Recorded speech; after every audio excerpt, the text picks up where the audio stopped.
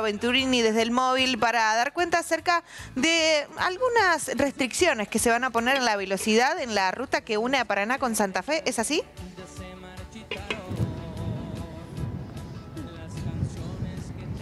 Así es, Eliana, buen mediodía casi para ustedes que están en la cocina y mientras el guiso se hace, nosotros vinimos hasta lo que es la zona de la Ruta Nacional 168 en el tramo que une Santa Fe con Paraná, porque aquí hay nueva cartelería y los conductores se van a encontrar con nuevas eh, velocidades, nuevos límites de velocidad que se han establecido conforme a lo que antes eran algunos límites establecidos para las rutas nacionales que son los que se pueden observar en cualquier lugar del país cuando uno transita este tipo de caminos.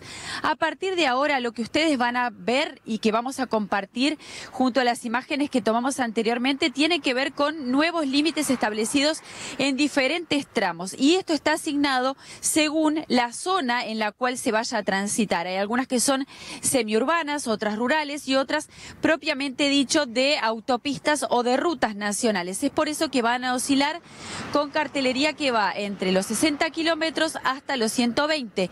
Y hay algunos tramos específicos. Nosotros ahora, por ejemplo, estamos del lado de Santa Fe, en la zona de Gendarmería. Desde eh, Colastines Sur hasta Gendarmería, el límite máximo de velocidad permitida es de 100 kilómetros. Desde Gendarmería hasta la balsa son 120 kilómetros y desde la balsa hasta el ingreso del túnel subfluvial desde Santa Fe con destino a Paraná vuelve a ser de 100 kilómetros. Van a tener que tener cuidado y atención y precaución los conductores. ¿Por qué? Porque está contemplado que se instalen radares para determinar la velocidad a la cual transitan los vehículos y eso también va a ser susceptible de algún tipo de multa si es que se pasan estos límites de velocidad. Hasta el momento nosotros no detectamos ningún tipo de radar, por lo pronto que esté señalizado, sí, cámaras de seguridad en lo que es este tramo de la Ruta Nacional 168, que es muy transitada por la continua conexión que tiene tanto la capital de Santa Fe con la capital entrerriana, que es Paraná, con el enlace del túnel subfluvial. Y ahí también vamos a recalar, ¿por qué? ¿Qué incidencia va a tener este cambio o estas velocidades estimadas que se comienzan a establecer a partir de ahora en este tramo de la ruta 168 entre París y Santa Fe. Lo vamos a escuchar a través del testimonio de quien es el director del ente que enlaza a la ciudad de Santa Fe con Paraná, con el arquitecto Eduardo López Segura, quien escuchamos. Eh, nosotros también nos hemos ayornado en cuanto a estos cambios por las noticias, porque no fuimos notificados de nada de ello.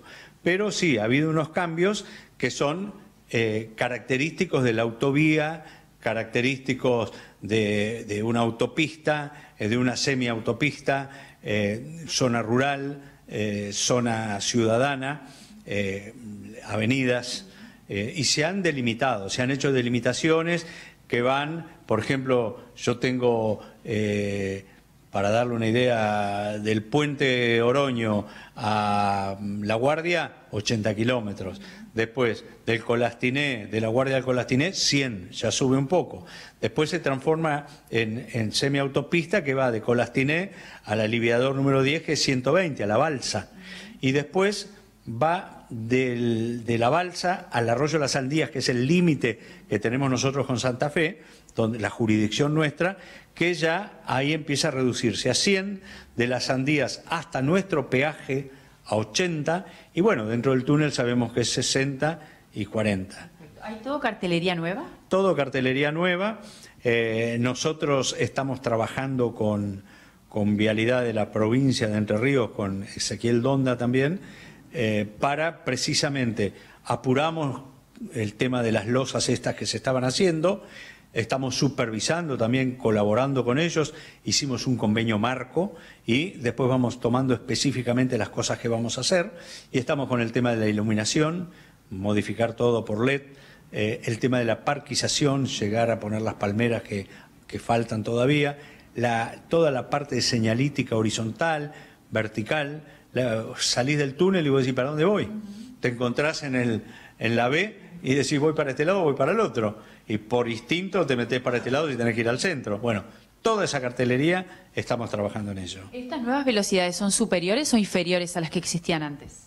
No, no, no, no. Eh, o sea, antes no había velocidad prácticamente, entonces ahora fueron dándole, de acuerdo a las características de, la, de, la, vía de comunicación, le fueron dando distintas velocidades. ¿Y eso incide en la seguridad al momento de transitar? Totalmente, totalmente, porque acá tenés lugares donde no tenés entrada de nada y tenés lugares donde hay salidas para un lado, salidas para el otro, bajan, entonces ahí generalmente te reducen la velocidad. ¿Cómo se comportan los conductores dentro del túnel? ¿Respetan? Mira, eh, los conductores saben que no tenemos mucha eh, posibilidad de, no te voy a decir reprimirlos, pero llamarlos a la atención. Porque una vez que pasó, salió, hasta que se avisa, en una de esas es bastante, bastante engorroso poder pararlo.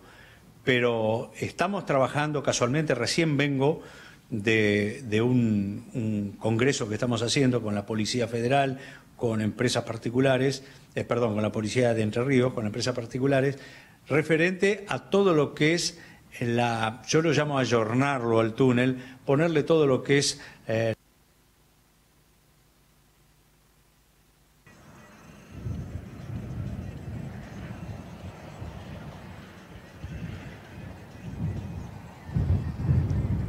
Hasta aquí algunas de las informaciones con respecto a lo que ha ocurrido en este tramo de la Ruta Nacional 168 con la disposición de nuevas velocidades máximas para quienes transiten por este lugar. Pero también, y si se quedan junto a nosotros, seguramente en un nuevo contacto vamos a estar charlando o informándonos también de lo que va a ocurrir con un nuevo sistema que se planea dentro del túnel subfluvial, especialmente para aquellos conductores que cometen alguna infracción dentro del enlace. Hoy las multas o las sanciones económicas son mínimas, por ejemplo, el costo de dos valores del peaje de lo que es el túnel subfluvial, que son dos mil pesos cada uno, sea cuatro mil pesos en total.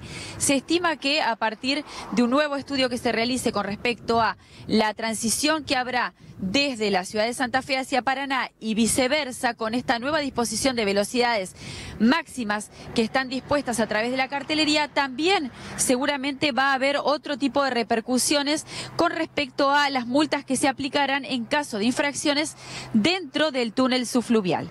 Con esta información desde Santa Fe, en el enlace hacia la ciudad de Paraná, volvemos con ustedes. Muchísimas gracias, Andrea, por la información y bueno, aquellos que quieran repasar también cuáles son los tramos y cuáles son los límites de velocidad, los invitamos a que ingresen a www.11.com donde allí está todo el detalle. Seguimos con